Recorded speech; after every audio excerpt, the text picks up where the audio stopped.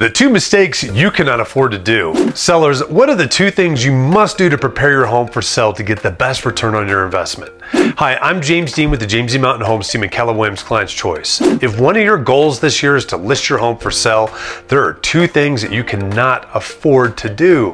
Price your home right. With the current shifts of the market as a seller, you need to recognize how important it is to price your house based on where the market is today.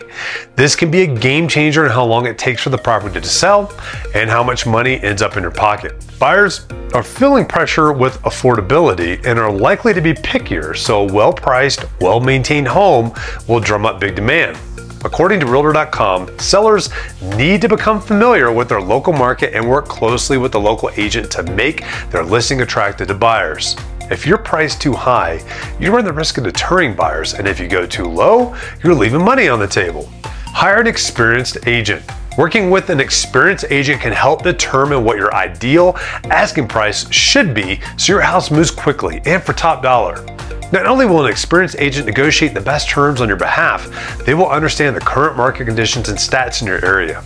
Please reach out to my team and me so we can help assist and guide you through this big life decision and get you the best return on your investment. I'm James Dean, and remember, we are your local mountain real estate experts.